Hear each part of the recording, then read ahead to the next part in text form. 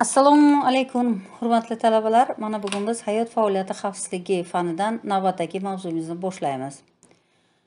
Demak bugungi mavzu ishlab chiqarishda xavfli zararli omillar va baxtsiz hodisalar. Ko'rib o'tilayotgan reja havoni changdan tozalash chang tozalagich va filtrlar baxtsiz hodisalar jarohatlanish kasbiy kasalliklar va zaharlanishlarning asosiy sabablari baxtsiz hodisalarni tekshirish va hisobga olish tartibi hamda baxtsiz hodisalar to'g'risida hisobot va sabablari tahlili. Chang havoda aylanib yura oladigan qattiq yoki suyuq moddalarning juda mayda zarrachalaridir ishlab chiqarish xonalaridagi havoning tozaligi ishchilarning salomatligiga katta ahamiyatga ega. Ishchilar changli havodan nafas olganda yuqori nafas yo'llari qichiydi va kishi o'zi xohlamagan holda yuzaki nafas oladi. Bu esa o'pka faoliyatiga salbiy ta'sir qiladi va turli kasalliklarni keltirib chiqaradi. Changli havo xonalarda ko'z shilliq pardalarini qichishtirib konyuktivit kasalligi keltirib chiqaradi va shu bilan birga chang zarrachalari tuberkulyoz tayoqchalari va zararli bakteriyalarni tashuvchi vosita hamdir. Yirikroq chang, chang burun halqumda ushlanib qoladi hamda mayda chang esa nafas olish a'zolariga kiradi. Havoning harakatchan ish tezligi changning aylanib yurish tezligidan past bo'lganda nol butun o'ndan birdan to o'n mikrometrgacha o'lchamli chang zarrachalari o'zgarmas tezlik bilan o'tiradi. Chang zarrachalarining aylanib yurish tezligi stoks formulasidan aniqlanadi. Sanoat korxonalaridagi ish jarayonlarida ajralib chiqadigan zararli omillarga chang zaharli gazlar zaharlar yuqori harorat havoning namligi shovqin tebranish va mineral iflosliklari kiradi. Ho'p changning zararligi uning o'lchami va kimyoviy xossalariga bog'liq. Sanoat korxonalarini loyihalashning sanitariya me'yorlariga muvofiq zaharli moddalar inson organizmi uchun zararlik darajasiga ko'ra xavflilik besh toifaga ajratiladi.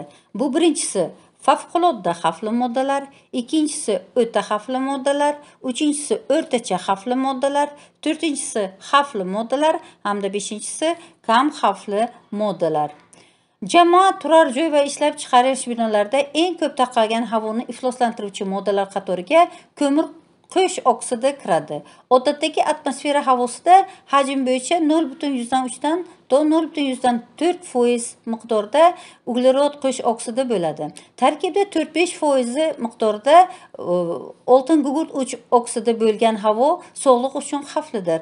Zaharli moddalar inson organizmiga nafas olish yo'llari teri va oshqozon ichak yo'li orqali kiradi. Zaharli moddalar bilan kuchli zaharlanganda quyidagi tarzda dastlabki yordam ko'rsatish lozim.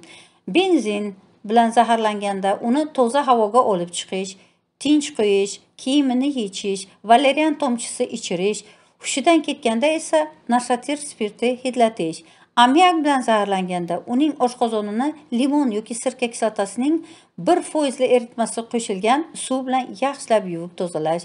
Dixlorat bilan zaharlanganda uni toza havoga olib chiqish kislorod berish shirin choy berish zarur. Azot oksidi bilan zaharlanganda unga kislorod berish nashatir spirti hidlatish lozim. Xavfsizlikning talab va qoidalariga rioya qilmaslik sanitariya gigiyena me'yorlari hamda mehnat intizomining buzilishi baxtsiz hodisalardan kelib chiqishiga sabab bo'ladi. Baxtsiz hodisa ya'ni jarohatlanish inson tanasining teri yoki ayrim qismlari tashqi mexanik kimyoviy issiqlik va elektr ta'siri natijasida shikastlansa buni baxtsiz hodisa deb ataladi. Kasbiy kasalliklar ishchi xodimlarga zararli ish sharoitlarining salbiy ta'siri natijasida hosil bo'ladigan kasalliklar kiradi. Zararli ish sharoitlariga yomon nobob iqlim sharoitlari zaharli changlar me'yordan ortiq shovqin va titrash bosimning me'yordan oshishi yorug'likning yetarli bo'lmasligi va boshqalar kiradi. Korxonalarda uchraydigan baxtsiz hodisa kasb kasalliklari va zaharlanishlarning sabablari 4 ga bo'linadi. Birinchisi tashkiliy sabablar ikkinchisi gigiyenik sabablar uchinchisi texnik sabablar hamda to'rtinchisi ruhiy fiziologik sabablar.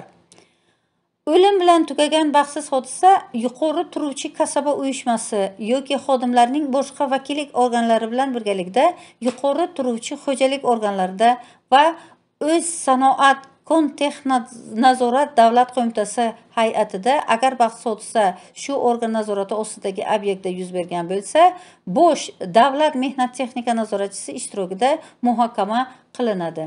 Ikki va undan ortiq kishi halok bo'lgan baxtsiz hodisa mehnat vazirligi hay'atida viloyat mehnat boshqarmasida o'z sanoat kontexnazorat davlat qo'mitasi hay'atida nazoratchilari ishtirokida ko'rib chiqiladi va muhokama qilinadi.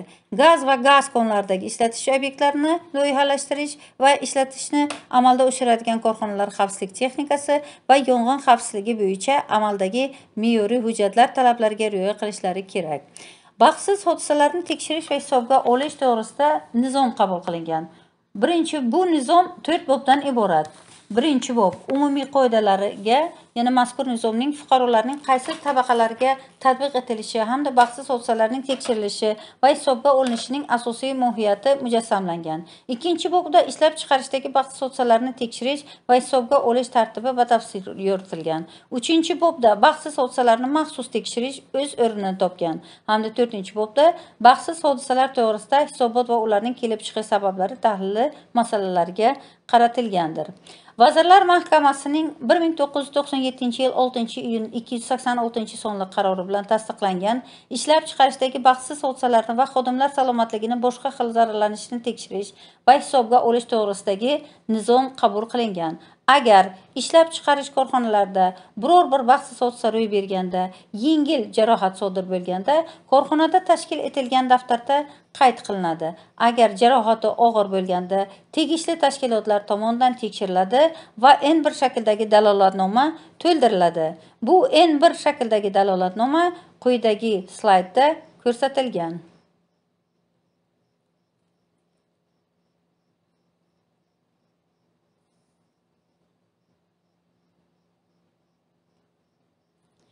Shu bilan tugallaymiz. E'tiborlaringiz uchun rahmat.